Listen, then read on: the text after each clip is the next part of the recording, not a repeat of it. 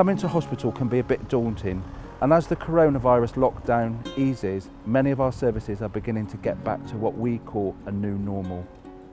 I'm going to explain some of the changes we've made across the hospital to keep everyone safe during this pandemic. When the coronavirus outbreak began, we changed many of our outpatient services to virtual clinics.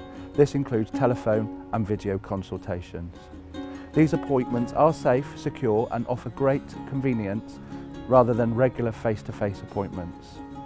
As we move to, towards our new normal, it may be necessary to invite some patients into the hospital for a face-to-face -face appointment. If you are asked to come into an outpatient appointment, it's really important that you attend.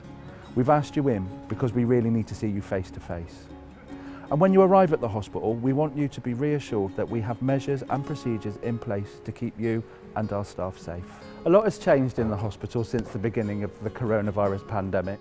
But if you are invited into the hospital for an appointment, it's really important you come alone unless you've pre-arranged with the department that you're able to bring someone with you.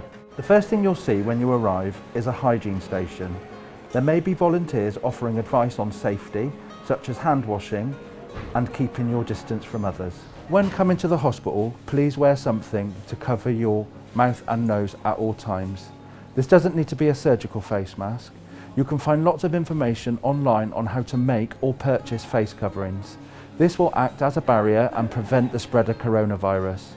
You will see that all of our staff are also wearing masks. The Atrium Coffee Bar is open as normal. You'll notice that we spaced all the tables away from each other for social distancing and just to let you know that all our toilet facilities are open as normal. So as you go around the corridors of the hospital, you'll notice that there's some stickers on the floor just to remind you to maintain two metres distance from anyone else wherever possible. Also, when walking in the corridors, walk in single file and keep to the left. And if you need to pass anyone, just allow enough distance just to maintain two metres. I'm going to be showing you around the eye clinic today to show you the measures that we've put in place to keep patients and staff as safe as possible. So the first thing you'll notice is that there's a bell on the door. When you arrive, press the bell and one of our staff members will come and greet you. This is to ensure that we're complying as best as we can with government guidance on social distancing. Hi there. Hi. When you come into the clinic, you might notice that there are some marks on the floor. These are similar to what you may have seen already in supermarkets, and essentially they're just reminders to patients and staff to ensure that we all keep two meters away from each other. Another thing that you might notice in the clinic are all the signs saying one way and also the arrows on the floor which indicate the one-way system. We've introduced a one-way system going all the way around the eye clinic to reduce patients coming into contact with each other of course, one of the other things that you will be noticing is that all the staff members will be wearing the appropriate PPE. All staff members will be wearing face masks like I'm doing right now at all times and when your doctor or nurse sees you they will also be wearing a, a, an apron and also wearing gloves too.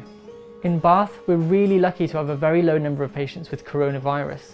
Specifically in the hospital we have a low number of patients with the disease and these patients are being looked after in designated areas. It's really important that if you're sent an appointment to the outpatient clinic that you do your best to attend this appointment. We're still open for business and committed to giving you the best care that we can.